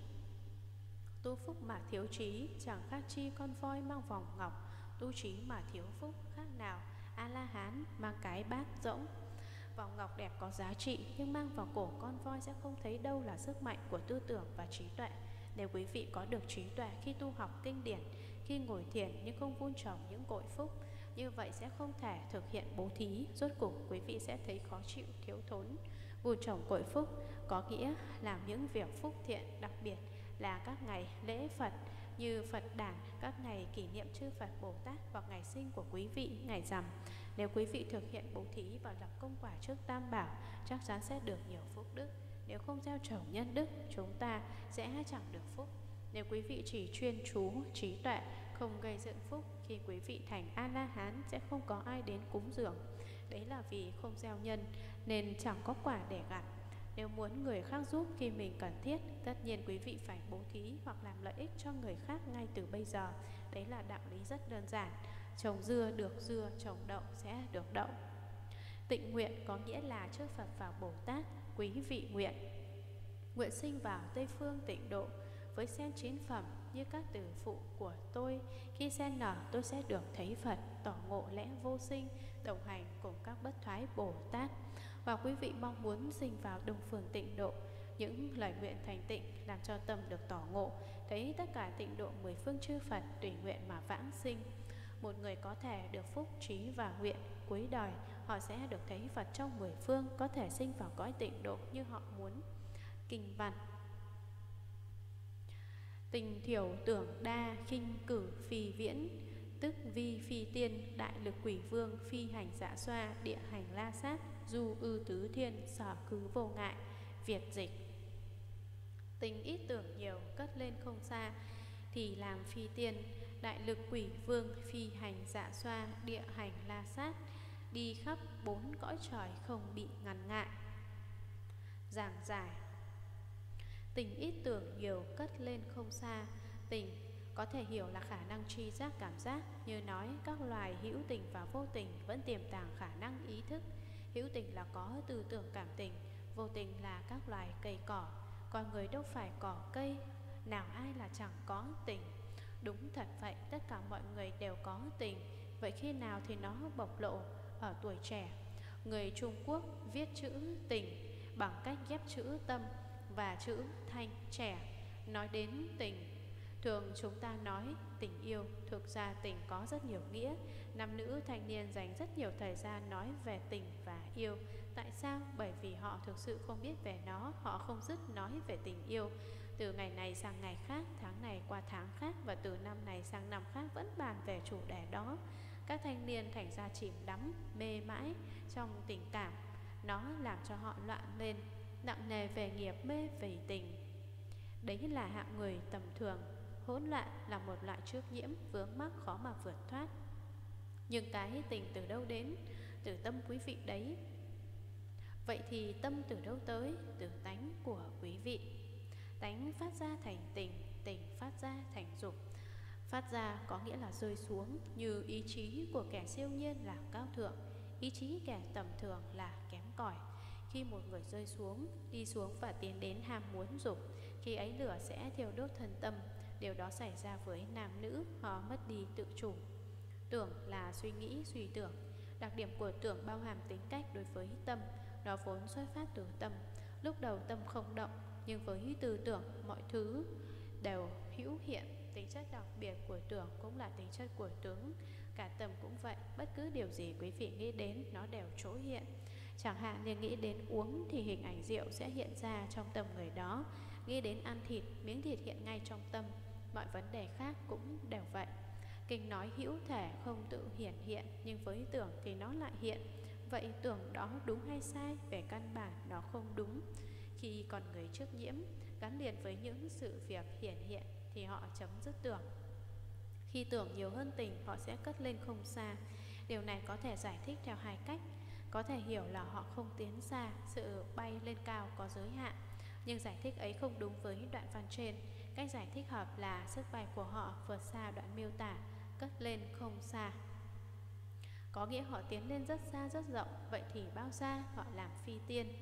Như Bàn sáng đi rong cả trăm ngàn dặm Đến chiều thăm viếng chín ngàn bệ thờ Hoặc trở thành đại lực quỷ vương Phi hành dạ xoa, địa hành la sát các chúng loại này đã giảng giải qua Họ có thể đi khắp bốn cõi trời không bị ngăn ngại Chẳng có gì ngăn trở hành trình của họ Kinh văn Kỳ trùng nhược hữu thiện nguyện thiện tâm hộ trì ngã pháp Hoặc hộ cấm giới tùy trì giới nhân Hoặc hộ thần chú tùy trì chú giả Hoặc hộ thiền định bảo tuy pháp nhẫn. Thị đẳng thần trụ như lai tọa hạ Việt dịch trong chúng nếu có nguyện tốt, tâm lành, hộ trì giáo pháp hoặc hộ trì cấm giới, theo người trì giới hoặc hộ trì thần chú, theo người trì chú, hoặc hộ trì thiền định theo người thiền định, giữ yên pháp nhẫn, thì những hạng đó chính mình được ở dưới pháp tòa của Như Lai, giảng giải. Trong chúng chỉ chung cho các chúng quỷ vương, du hành dạ xoa, nếu có nguyện tốt tâm lành hộ trì giáo pháp, giáo pháp của Đức Thích Ca cũng tức là Phật Pháp, hoặc hộ trì cấm giới theo người trì giới chỉ những người giữ giới theo lời Phật dạy như vậy họ sẽ theo những người giữ giới họ hành động mọi hành động của họ đều đúng với giới cấm, chẳng có gì phải bận lòng vì điều đó. Hoặc hộ trì thần chú, theo người trì chú, họ có thể trì chú lăng nghiêm, chú đại bi. Và các chú khác, họ kiên quyết theo người trì chú và bảo vệ những người ấy cả đêm ngày. Hoặc hộ trì thiền định, theo người thiền định giữ yên pháp nhẫn. Có những chúng nguyện trong tương lai sẽ bảo vệ người tu tập thiền. Họ sẽ đạt được thiền định, Giữ yên người có pháp nhẫn, Sẽ đạt được các pháp. Thì những hạng đó chính mình được ở dưới pháp tòa của Như Lai. Các chúng có hạnh nguyện tốt đẹp và hộ trì pháp Đều sẽ được ở dưới pháp tòa Như Lai nghe giảng pháp. Kinh văn. Tình tưởng quân đẳng bất phi bất trụy, sanh ư nhân gian, Tưởng minh tư thông, tình u tư độn. Việc dịch. Tình và tưởng ngang nhau, không bay lên chẳng đọa xuống Thì sinh nơi nhân gian. Tưởng sáng suốt nên thông minh, Tình u ám nên ngủ độn. Giảng giải. Với 90 phần tưởng 10 phần tình, Người ấy đa phần sẽ được tái sinh. Nếu 90 phần tình 10 phần tưởng chắc chắn sẽ đi vào địa ngục. Này tình và tưởng ngang nhau, Không bay lên chẳng đã xuống Thì sinh nơi nhân gian Với nửa tưởng, nửa tình Là trạng thái cân bằng. Người đó không thể bay lên trời làm thần tiên, Không rơi xuống địa ngục làm ngạ quỷ. Vậy sẽ đi đâu? Đấy là chỗ hiện tại của quý vị của tôi. Sinh nơi cõi nhân gian Không có nghĩa là sẽ được sinh ở đây mãi mãi. Nhân gian chẳng qua là một chỗ tạm dừng Một nơi để chuyển sang chỗ khác. Từ nhân gian còn người sẽ đi đến đâu? Quý vị sẽ hỏi. Vâng, để sinh nơi cõi nhân gian Quý vị phải có phần tưởng và tình ngang nhau. Quý vị nên quán xét Xem hiện tại mình có tưởng nhiều hay tình nhiều hơn. Nếu tình nhiều ắt sẽ vào địa ngục. Còn như tưởng nhiều hơn Tương lai quý vị sẽ sinh lên cõi trời. Nếu không có tình, Quý vị có thể tiến đến quả Phật. Và khi đó, quý vị là thuần dương, không có âm. Nếu quý vị có 10 phần tình, Vậy là có âm rồi. Tưởng sáng suốt nên thông minh Tỉnh u ám nên ngu độn, Đây là điểm chuyển hóa. Quý vị càng tư tưởng hiểu biết càng nhiều, Khi có được trí tuệ, Nếu quý vị tu tập để ngày càng tinh tấn Thì trí tuệ càng phát triển. Đấy là ý nghĩa tưởng sáng suốt nên thông minh. Tình được gọi là âm Vì khi đó là vấn đề riêng tư Tưởng là công khai, quang minh và trong sáng Đấy là sự tu tập ngồi thiền học Phật Pháp nghe giảng kinh Từ đó quý vị có được trí tuệ Trái lại tình và ái thì không thể bàn luận giữa chốn đông người. Hẳn nhiên hai người nam nữ phải đến công viên bãi biển hoặc ngồi riêng với nhau dưới cội cây để tâm sự. Họ thầm thì trò chuyện nhau, do đó tình thuộc loại u ám. Những gì không thể cho người khác thấy biết là đen tối u ám. Sự u ám đó làm cho họ thành ra ngu độn. Họ đưa nhau vào rừng, nơi chẳng thấy trời cao, hoặc ngồi với nhau trong xe, trong tàu, đi đến những nơi vắng người đó là u ám. Những điều đó thuộc về âm, đó làm cho con người trở nên ngu độn Thường họ say mê tán gẫu chát nhau Đến khi thành ra ngu ngốc Ngu ngốc cả khi rơi tòm vào hố sâu không đáy Đó là lý do khiến bao người sa ngã và trượt vào biển khổ Đến khi ấy thì không dễ gì thoát khỏi. Quý vị phải hết sức cố gắng mới được, Trừ phi quý vị may mắn, Được một vị thiện tri thức nắm tay kêu to lên, Thoát ra đi, Đấy cũng là điều khó. Kinh văn. Tình đa tưởng thiểu, lưu nhập, hoành xanh Trọng vi ma quần, khinh vi vũ tộc. Việt dịch, tình nhiều tưởng ít đi vào các loại hoành sinh. Nặng làm giống có lông, Nhẹ thì làm giống có cánh. Giảng giải. Tình nhiều tưởng ít đi vào các loại hoành sinh Nặng làm giống có lông Đấy là sự chuyển biến nhẹ theo mức độ tình giữa các loài thú Ngay cả ruồi mũi cũng có một chút tưởng Quý vị có bao giờ tự hỏi tại sao loài chim có nhiều màu sắc? Đấy là vì khi còn là người họ thích mặc các loại quần áo sặc sỡ, họ mặc đẹp để người khác chú ý đến. Khuynh hướng ấy vương lấy nhiều tình, ít tưởng, khiến họ xa vào các giống chim. Có vài loài chim thanh tú xinh đẹp, đấy là những kẻ từng mặc y phục rất đẹp. Do cái tình sâu nặng nên phải vào đường thú, nhưng tình các loài ấy nhẹ hơn súc vật nên thành chim vậy. Kinh văn Thất tình tam tưởng trầm hạ thủy luân Sanh ư hỏa tế thụ khí mãnh hỏa thân vi ngạ quỷ Thường bị phần thiêu thủy năng hại kỳ Vô thực vô ẩm kinh bách thiên kiếp Việt dịch, bảy phần tình, ba phần tưởng, chìm xuống dưới thủy luân, sinh nơi cạnh hỏa luân, chịu khí phần của lửa hồng, thân làm ngạ quỷ thường bị đốt cháy. Vì nước có thể hại mình, không ăn, không uống, trải qua trăm ngàn kiếp như vậy. Giảng giải. Với sau 10 phần tình 4 10 phần tưởng, con người sẽ đi vào đường súc sinh với 40 phần tình 60 phần tưởng con người có thể tái sinh vào cõi trời còn như 7 phần tình 3 phần tưởng chìm xuống dưới thủy luân sinh nơi cạnh hỏa luân chịu khí phần của lửa hồng Bên dưới thủy luân là lửa chẳng hạn như núi lửa thì lửa nằm bên dưới mực nước. Thân làm ngạ quỷ thường bị đốt cháy. Có rất nhiều loài ngạ quỷ, loại tệ nhất có cổ họng nhỏ như cây kim, bụng to như cái trống. Vì nước có thể hại mình không ăn không uống trải qua trăm ngàn kiếp như vậy. Bọn họ không có một giọt nước để uống. Tại sao vậy? Đó là vì nghiệp. Khi nhìn thấy nước thì liền biến thành lửa. Thiện thần thấy nước như lưu ly, cá tôm sò và các động vật ở biển thấy nước như là nơi của chúng, đó là nhà ở. Chúng sống trong đó nên không thấy nước, cũng như con người sống nhờ vào không khí nhưng không để ý đến. Nếu con người thiếu không khí ắt sẽ chết con người cần ăn uống để sống Nhưng cũng phải cần không khí để thở. Nhưng chúng ta có thấy được không khí? Không, cá thấy nước là nhà của chúng Và con người thấy nước là nước Nhưng loài quỷ thấy nước lại là lửa. Tại sao chúng ta không thấy nó như lửa? Nếu ai đó muốn biết có sự khác biệt đó Thì nên thử làm quỷ ta sẽ nhận ra. Nhưng quý vị muốn biết được điều đó Mà không cần phải làm quỷ. Đúng vậy tôi sẽ nói đó là vì nghiệp chướng do kết quả của nghiệp chính họ tạo ra. Nếu quý vị tạo nghiệp, quả báo khiến quý vị thành ngạ quỷ, khi ấy sẽ cảm nhận nước chính là lửa. Nếu không tin quý vị có thể thử xem. Nhưng nếu hành động như vậy và khi thực sự đã thành ngạ quỷ thì rất khó để trở lại làm người. Vậy cách tốt nhất là hãy tin tôi, tôi không nói dối quý vị. Khi ngạ quỷ bị thiêu chết, nó tiếp tục sống trở lại và bị thiêu chết. Chúng phải chịu đựng sự sống chết nối tiếp liên tục như vậy Quỷ nhìn thấy nước là lửa, Nên không có nước để uống, Cũng chẳng có cái để ăn. Chúng phải chịu đựng đau khổ trong vô số kiếp như vậy. Kinh văn. Cửu tình nhất tưởng, hạ động hỏa luân, Thân nhập phong hỏa, nhị giao quá địa, khinh sanh hữu gian, trọng sanh vô gián, nhị trùng địa ngục. Việt dịch.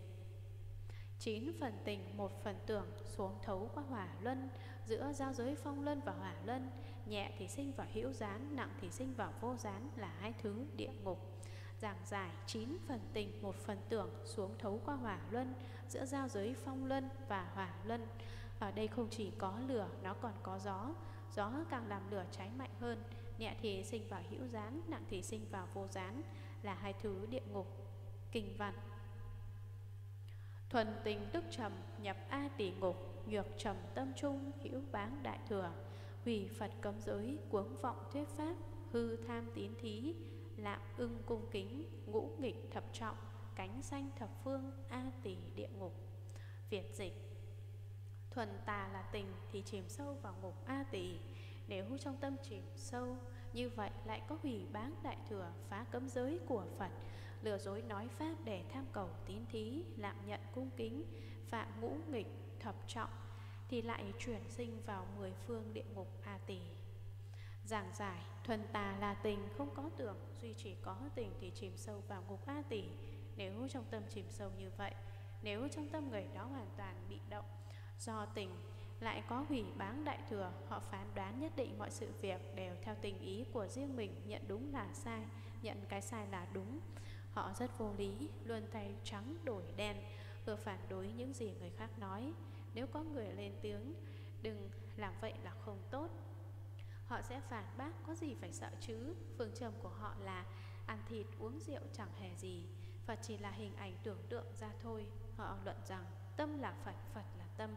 Đấy là những quan điểm sai lạc tà kiến. Từ suy nghĩ lệch lạc họ phá cấm giới của Phật. Nói thọ giới làm gì chứ? Thọ giới ắt sẽ bị ràng buộc không được tự do. Thực ra nếu không thọ giới Con người rất dễ đi vào địa ngục. Quý vị gọi đó là tự do sao? Giới có giới tướng, giới pháp, giới thể. Người thọ giới có khả năng gìn giữ ngăn ngừa những sai phạm của chính mình Tránh không đi vào địa ngục. Và cho dù có vào địa ngục Quý vị cũng sẽ nhanh chóng ra khỏi nơi đau khổ ấy. Chúng sinh thọ giới Phật Tức là Phật tử chân chính. Cho nên thọ giới là điều cần thiết trong tu hành Phật đạo. Đừng hủy báng giới của Phật Cũng đừng lừa dối nói Pháp. Đừng phủ nhận nhân quả, đừng nói những lời như không có nhân quả, con người ta đã là Phật rồi, không cần thiết phải tu hành, cứ ăn thịt uống rượu và vui đi. Dù có làm điều gì cũng không sao, các người rồi sẽ thành Phật, thật dễ dàng để thành Phật. Đúng đấy, thật dễ dàng để thành Phật, nhưng phải tránh đi tội lỗi. Chẳng có ông Phật nào lắm tội cả, các vị ấy đều hoàn toàn trong sạch thanh tịnh, chẳng có ai ô uế, đầy nghiệp chướng mà thành Phật được. Chẳng có ai ăn thịt uống rượu mà thành Phật. Nếu chỉ đơn giản như thế, Thì Phật còn nói đến giới cấm làm gì? Đừng để tham cầu tín thí. Đừng dối trá để người khác tin tưởng và mang đến lợi lộc cho quý vị. Đừng nghĩ làm thế nào để được tiền từ các người học. Tôi không bao giờ nói về tiền bạc với các môn đệ Thông thường họ phải mất ít nhất 50 hoặc 60 đô la khi mới vào học tập. Nhưng tôi không để ý đến việc ấy. Tránh lạm nhận cung kính hoặc phạm ngũ nghịch Như giết cha, mẹ, giết A-la-hán, làm chảy máu thân Phật, phá hòa hợp tăng Hoặc phạm tội thập trọng, đó là 10 trọng giới Bồ Tát. Phạm tội nặng như vậy thì lại chuyển sinh vào mười phương địa ngục A Tỳ. Sau khi chịu hình phạt từ ngục A Tỳ Ở cõi này người đó sẽ lại chuyển sang ngục A Tỳ khác trong khắp cả mười phương. Quý vị có thể hình dung là biết bao lâu không? Chẳng hạn để bà Đạt Đa, người ra sức ganh đua cùng Phật, rốt cục thân sống phải rơi vào địa ngục. Hiện ông ấy vẫn phải chịu đau khổ trong các địa ngục từ thời Phật Thích Ca cho đến ngày nay. Thật sự đó cũng chỉ là một cái chớp mắt. Kinh văn Tuần tạo ác nghiệp, tuy tắc tự chiêu, chúng đồng phần chung, kiêm hữu nguyên địa, Việt dịch theo ác nghiệp gây ra, mặc dù tự chuốc lấy quả báo nhưng trong đồng phận chung vẫn có chỗ nhất định. Giảng giải theo ác nghiệp gây ra, mặc dù tự chuốc lấy quả báo, vì hủy báng giáo pháp đại thừa phá hoại Phật pháp tăng, phạm tội ngũ nghịch và thập trọng, nhưng trong đồng phận chung vẫn có chỗ nhất định. Mặc dù sắp vào địa ngục do hành động của chính mình gây ra, nhưng tùy theo sự tạo nghiệp của mỗi người có khác nhau nên sự chịu đựng quả báo cũng có khác. Kinh văn A nàng thử đẳng giai thị Bỉ trừ chúng sanh tự nghiệp sở cảm Tạo thập tập nhân thọ lục giao báo. Việt dịch. A nan những điều như thế Đều do nghiệp báo của các chúng sinh kia Tự chiêu cảm lấy Như gây ra 10 tập nhân Phải chịu 6 giao báo. Giảng giải. A nan những điều như thế đều do nghiệp báo của các chúng sinh kia tự chiêu cảm lấy, do khởi vọng tưởng tạo nghiệp và phải chịu quả báo, như gây ra 10 tập nhân phải chịu sáu rào báo quả báo thì không bao giờ dứt. Kinh văn. Vân Hà thập nhân, A Nan nhất giả, dâm tập giao tiếp, phát ư tương ma, nghiên ma bất hưu, như thị cố hữu, đại mãnh hỏa quang ư trung phát động, như nhân dĩ thủ tự tướng mà xúc, noãn tương hiện tiền. Việt dịch, thế nào là mười tập nhân? Một là quán tập dâm dục, giao tiếp cùng nhau, phát sinh cọ sát nhau, cọ sát mãi không thôi như vậy, nên trong ấy có ngọn lửa hồng lớn nổi lên. Ví như người ta lấy hai bàn tay cọ sát lẫn nhau thì cảm giác nóng hiện ra. Giảng giải thế nào là 10 tập nhân? A Nan ta sẽ giảng cho ông. Một là quán tập dâm dục, đó là thói quen hành dâm giữa nam và nữ không dứt được. Họ giao tiếp cùng nhau, phát sinh cọ sát nhau cọ sát mãi không thôi. Như vậy nên trong ấy có ngọn lửa hồng lớn nổi lên. Ngọn lửa phát sinh từ chính họ do sự vận động. Ví như người ta lấy hai bàn tay cọ sát lẫn nhau Thì cảm giác nóng hiện ra. Kinh văn. Nhị tập tướng nhiên Cố hữu thiết sàng, Đồng trụ trừ sự. Việt dịch hai tập khí bức bách lẫn nhau Nên có những việc giường sắt cột đồng. Giảng giải. Hai tập khí. Tập khí dâm dục từ đời trước, quá khứ chưa dứt trừ, đến đời hiện tại tập khí ấy càng thêm tăng trưởng. Do hai tập khí ấy bức bách lẫn nhau nên có những việc giường sắt, cột đồng. Giường sắt cột đồng là những từ đặc biệt của địa ngục. Do nghiệp dâm dục quá nặng nên phải chịu đựng sự thiêu đốt như vậy. Kinh văn Thị cố thập phương nhất thiết như lai Sắc mục hành dâm Đồng danh dục hỏa Bồ Tát kiến dục Như tị hỏa khanh Việc dịch Thế nên tất cả các đức như lai trong mười phương nhận xét việc dâm dục, cũng gọi là lửa dục. Bồ Tát đối với dâm dục thì tránh như hầm lửa. Giảng giải Thế nên tất cả các đức như lai trong mười phương nhận xét việc dâm dục, cùng gọi là lửa dục. Các như lai nhắn nhủ, lửa dục dễ dàng đốt cháy thân người. Bồ Tát đối với dâm dục thì tránh như hầm lửa. Các vị ấy tránh xa dâm dục như xa lánh hầm lửa. Quý vị chắc không muốn thấy hầm lửa và nhảy bổ vào đấy. Các Bồ Tát xa lánh việc dâm dục, Họ cũng chẳng nghĩ đến điều ấy. Kinh văn. Nhị giả, Tham tập giao kế, Phát ư tướng hấp Hấp lãm bất chỉ Như thị cố hữu, Tích hàn kiên băng, Ư trung đống liệt. Như nhân dĩ khẩu, Hấp xúc phong khí, Hữu lãnh xúc sanh Việt dịch. Hai là tập quán tham lam, so đo hơn thiệt phát sinh hấp thụ lẫn nhau, hấp thụ ôm ấp mãi không thôi. Như thế nên chứa hơi lạnh bên trong thành băng giá cứng, làm cho nứt nẻ. Ví như có người hút hơi gió vào thì có cảm xúc lạnh. Giảng giải hai là tập quán tham lam, so đo hơn thiệt phát sinh hấp thụ lẫn nhau. Tham lam, như một loại nam châm, nó có sức hút các vật đồng loại, hấp thụ ôm ấp mãi không thôi. Lòng tham con người không bao giờ dừng, lúc nào cũng cố gắng tìm cách tích tập cho riêng mình khi lòng tham quá mạnh như thế nên chứa hơi lạnh bên trong thành băng giá cứng làm cho nứt nẻ. Đấy là cảm giác lạnh giá. Ví như có người hút hơi gió vào thì có cảm xúc lạnh. Kinh văn. Nhị tập tướng lăng cố hữu cha cha ba ba la la, thành xích bạch liên, hàn băng đẳng sự, thị cố thập phương nhất thiết như lai sắc mục đa cầu đồng danh tham thủy, bồ tát kiến tham như tị trướng hải việt dịch. Hai tập khí lấn nhau nên có những sự cha cha, ba ba, la la thành liên, xích liên, bạch liên hàn băng. Vậy nên các đức như lai trong mười phương nhận xét việc tham cầu quá nhiều, cũng gọi là nước tham. Bồ tát đối với lòng tham tránh như biển động. Giảng giải hai tập khí, lòng tham từ quá khứ và lòng tham trong đời hiện tại. Lấn nhau, tức tập khí tham lam chiếm đoạt lấy nhau nên có những sự cha cha, ba ba, la la các tội nhân phải chịu đựng khổ sở, nơi địa ngục lạnh rất khắc nghiệt. Các từ cha cha, ba ba, la la, diễn tả tiếng rên rỉ, run rẩy vì lạnh cóng thành liên, xích liên, bạch liên, hàn băng, chỉ những hình dáng banh giá trong địa ngục mà các chúng sinh phải chịu đựng. Kinh văn. Tam giả, mạn tập giao lăng, phát ư tường thị trì lưu bất tức, như thị cố hữu đẳng giật bôn ba, tích ba vì thủy như nhân khẩu thiệt tự tướng miền vị, nhân nhi thủy phát. Việt dịch, ba là tập quán ngã mạn lấn lướt lẫn nhau, phát sinh ỷ thế với nhau. Rong ruổi không thôi, như thế để có sự buôn ba sôi nổi trở lại thành nước. Như có người miệng lưỡi từ chép làm nước bọt chảy ra. Giảng giải, ba là tập quán ngã mạn lấn lướt lẫn nhau. Ngã mạn là kiêu căng tự phụ. Người ngã mạn cứ nghĩ là mình hơn người do suy nghĩ như thế nên phát sinh ý thế với nhau. Họ nhìn người khác và rong ruổi không thôi. Như thế nên có sự buồn bà sôi nổi, chứa lại thành nước. Đấy là những nước dầu sôi bỏng, nơi địa ngục. Những như có người miệng lưỡi từ chép làm nước bọt chảy ra, tự chép miếng ắt sinh ra nước bọt. Kinh văn nhị tập tướng cổ, cố hữu huyết hà khôi hà nhiệt xa độc hải dung đồng quán thôn trừ sự việt dịch. Hai tập ký chọi nhau nên có việc sông huyết sông cho cát nóng biển độc bắt uống nước đồng chảy. Giảng giải hai tập ký chọi nhau. Sự kêu căng tích tập trong quá khứ đến đời hiện tại thành tự ngã nên có việc nhiều loại địa ngục khác nhau như địa ngục sông huyết, địa ngục sông cho, địa ngục cát nóng, địa ngục biển độc, địa ngục hành hình tội nhân bằng cách bắt uống nước đồng chảy. Kinh văn.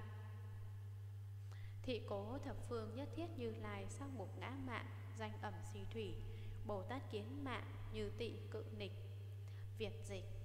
Vậy nên tất cả các đức như lai trong mười phương nhận xét lòng ngã mạng cùng gọi là uống nước si mê. Bồ Tát đối với ngã mạn tránh xa như vực lớn Giảng giải. Vực lớn chỉ là biển to sóng lớn Xa vào đấy thì khó bẻ thoát khỏi Thế nên phải tránh xa nơi nguy hiểm ấy. Kinh văn.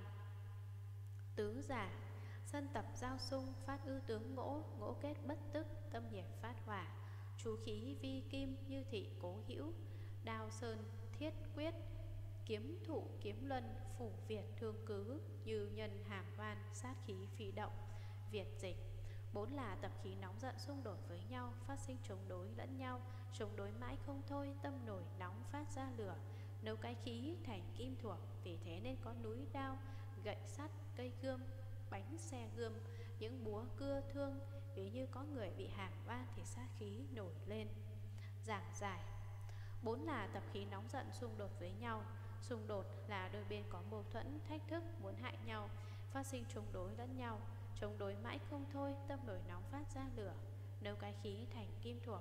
Tâm người đó nóng lên, mặc tình cho lửa vô minh thiêu đốt. Khí lực ấy bị thiêu đốt rất mạnh mẽ, đến biến thành kim thuộc. Vì thế nên có núi đào có địa ngục gậy sắt, địa ngục cây gươm, địa ngục bánh xe gươm và những búa cưa, thương cùng các hình phạt tương tự khác. Ví như có người bị hàm oan, phải mang lấy mối căm tức dữ dội thì sát khí nổi lên, muốn diệt cho được đối phương. Kinh văn Nhị tập tướng kích, cố hữu cùng cát, tràng trước đỏa thích, trùy kích trừ sự. Việt dịch hai tập khí đập nhau nên có các việc thiến, chặt, dùi, đâm, đập, đánh. Giảng giải hai tập khí, sự thù ghét trong quá khứ và hiện tại, đập nhau nên có các việc thiến. Đây là một loại địa ngục, chặt, giết chết, dùi làm cho tay chân tàn phế, đâm đập đánh đều là những hình phạt nơi địa ngục. Kinh văn Thị cố thập phương nhất thiết như lai Sắc mục sơn nhuế danh lợi đào kiếm Bồ Tát kiến dân như tị chu lục. Việt dịch Vậy nên các đức như lai trong mười phương Nhận xét sự nóng giận cùng gọi là dao gươm bén. Bồ Tát đối với lòng nóng giận thì tránh như lánh Chém giết. Giảng giải Vậy nên các đức như lai trong mười phương Nhận xét sự nóng giận cùng gọi là dao gươm bén. Lòng nóng giận như thanh gươm sắc bén. Bồ Tát đối với lòng nóng giận thì tránh như lánh, chém giết. Bồ Tát xem lòng nóng giận và thù hằn như giết hại con người. Kinh văn Ngũ giả trá tập giao dụ, phát ư tương điệu, dẫn khởi bất trụ, như thị cố hữu, thằng mộc rào hiệu, như thủy sâm điền, thảo mộc xanh trường. Việt dịch, năm là tập quán giả dối, dụ dỗ theo nhau, phát sinh lôi kéo nhau dẫn dắt mãi không thôi. Như thế nên có dây, cây, thòng lọng, căng nọc Ví như nước thấm vào ruộng thì cỏ cây lớn lên. Giảng giải năm là tập quán giả dối, dụ dỗ theo nhau Phát sinh lôi kéo nhau. Giả dối là không thực lòng Dụ dỗ tìm cách dối gạt để người khác theo mình. Khi bạn lừa tôi thì tôi cũng nghĩ cách lừa bạn Dẫn dắt mãi không thôi. Như thế nên có dây, cây, thòng lọng, căng nọc Dẫn dắt hàm ý dùng thủ đoạn dối trá. Dây, cây là những vật dụng làm thành cái giá treo người. Đây là một loại địa ngục. Ví như nước thấm vào ruộng thì cỏ cây lớn lên. Chính sự dối trá hình thành và phát triển những cây, những dây cây trong địa ngục. Kinh văn Nhị tập tương duyên, cố hữu nữ giới, gia tỏa tiền trượng, qua bổng trừ sự. Việt dịch hai tập khí kéo nhau nên có các sự gông cùng xiềng xích, roi gậy qua bổng. Giảng giải Hai tập khí kéo nhau nên có các sự gông cùng Tập khí dối trái tích tập từ quá khứ Kéo dài đến đời hiện tại vẫn còn là giả dối gồm cùng là những hình cụ những Cũng như xiềng xích vậy. Khi bị xiềng xích trói buộc thì không còn hoạt động tự do được. Chẳng những thế người ấy còn bị đánh đập bằng những roi Gậy, qua, bồng. Tại sao họ phải chịu đựng những hình phạt như thế? Đấy đều là do giả dối vậy. Kinh văn. Thị cố thập phương nhất thiết như lai sắc mục gian ngụy đồng danh sàm tặc. Bồ Tát kiến trá như úy xài lang Việt dịch. Vậy nên tất cả các đức như lai trong mười phương, Nhận xét sự giả dối cũng gọi là sảm tặc. Bồ Tát đối với sự gian dối, Sợ như làng sói. Giảng giải sàm là nói những điều không thể tin được.